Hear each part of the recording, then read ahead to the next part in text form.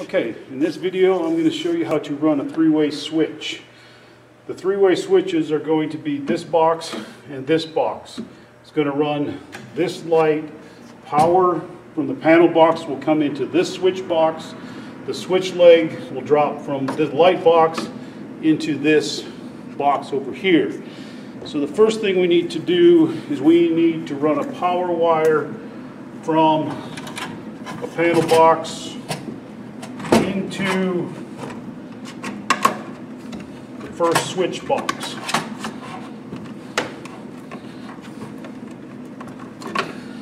All right, then we need to run a wire from this switch box into our light box.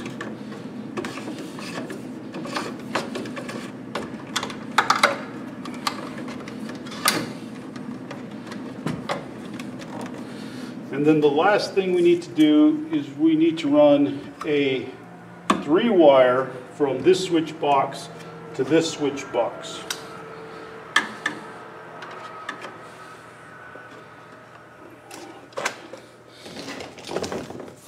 So we just run it through this hole right here. Feed the three wire into the box.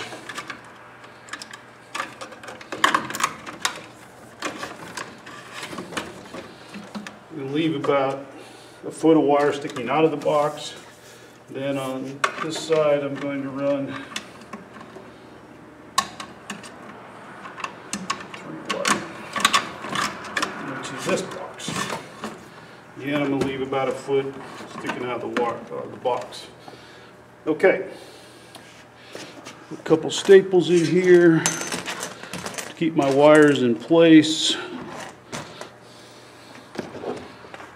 Now, code says you need to have a staple within six inches of the box.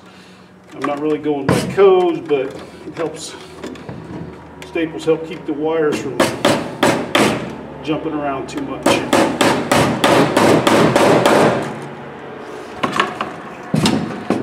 Again, when you put staples, you want to staple the wire as close to the center of the board as possible so that if you run a screw through your drywall, it won't get hit the wire. Okay, so in this box, this is going to get a three-way switch. I'm going to strip the wire.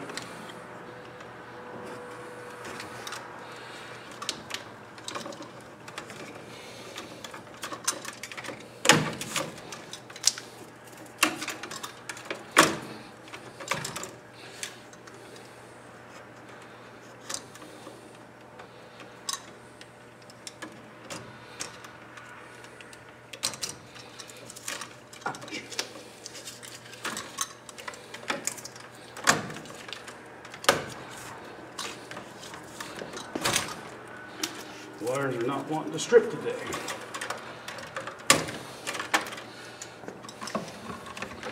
Okay. So first thing we're going to do is our ground wires. We're going to wrap our ground wires a couple of times. We're going to use our linesman pliers to make sure that we have a nice tight wrap cut off the excess and install our green wire nut.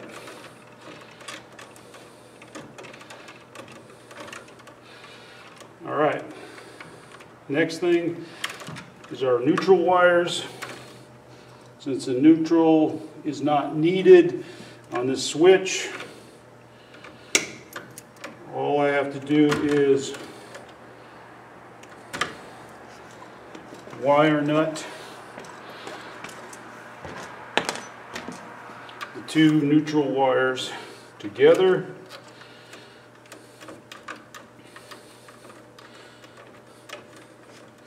Fold them into the box.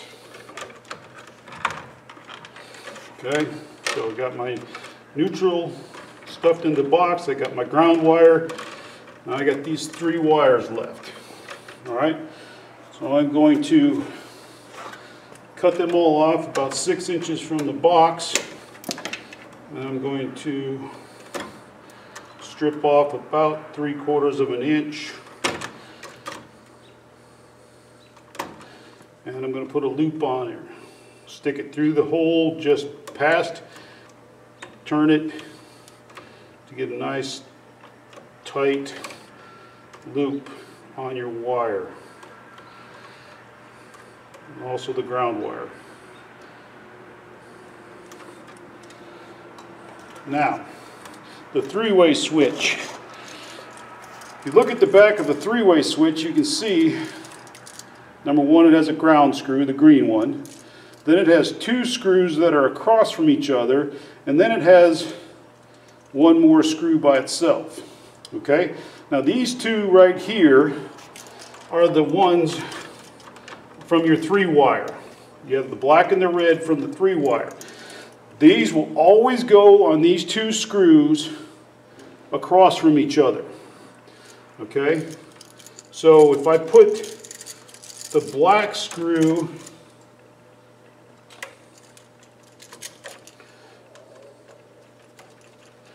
for the black wire to the gold screw on one side, then the red screw will be across from it.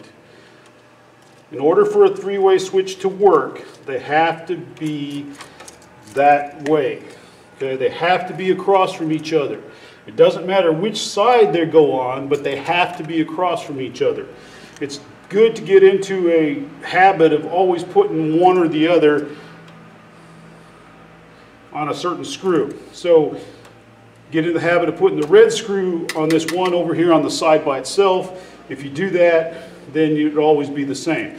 It'll be important when we get to the other switch to understand why you need to have them across from each other.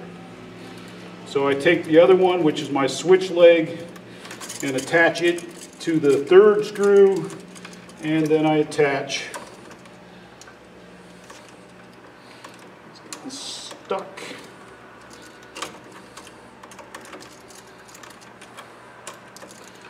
The ground onto the ground screw.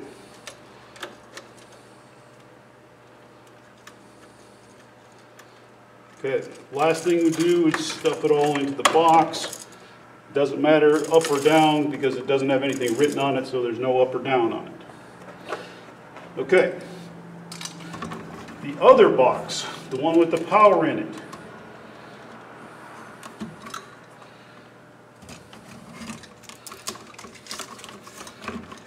Of all, you're gonna strip your wires. You want to try to strip them up into the box as far as you can reach. It makes it easier to stuff the wires into the box when you get done.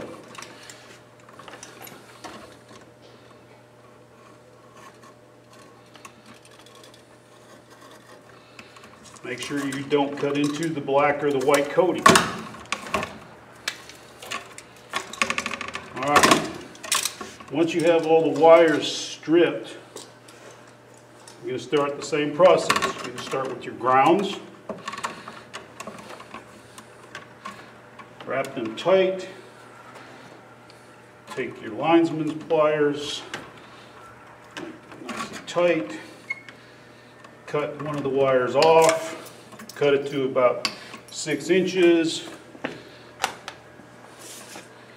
Install a green wire nut.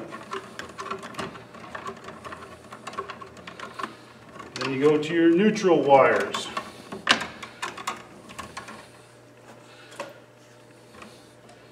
Six or seven inches from the box, strip them off.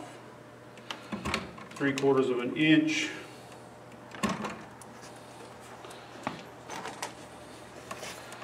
Wire nut the two neutral wires together. Stuff them into the box. All right, so that leaves us our three wires again. Two of them, the black and the red are the, what they call traveler wires. And then the other one, which will be our power wire. Since our switch leg was over here, our power is in this box. So strip them three quarters of an inch.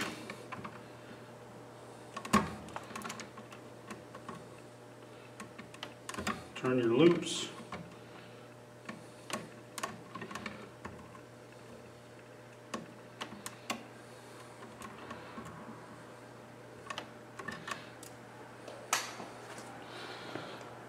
All right, now you're going to take your other three-way switch. Again, two that are crossed that are going to get your travelers.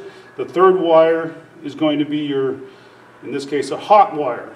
Okay? Now this is why it's important to always put them the same.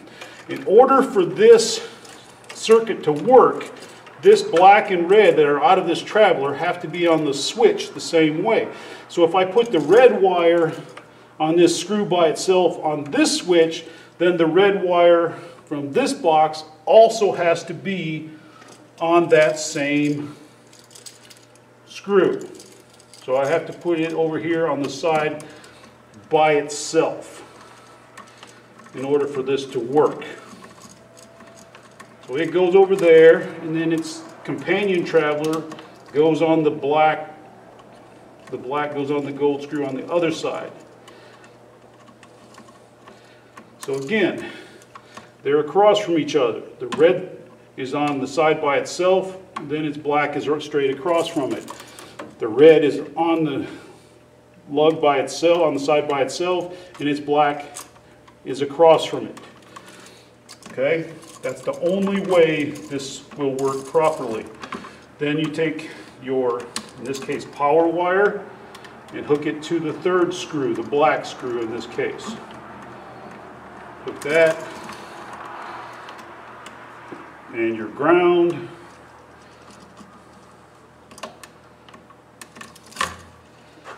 And fold the wires and stuff them into the box.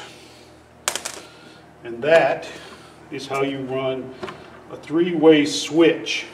Power at one of the switch boxes, switch leg in the other box. All you have to do is strip this and hook your light up to that. And this one will get hooked up into the panel box It'll go on to your breaker. So three-way switch, power in one box, switch leg in the other.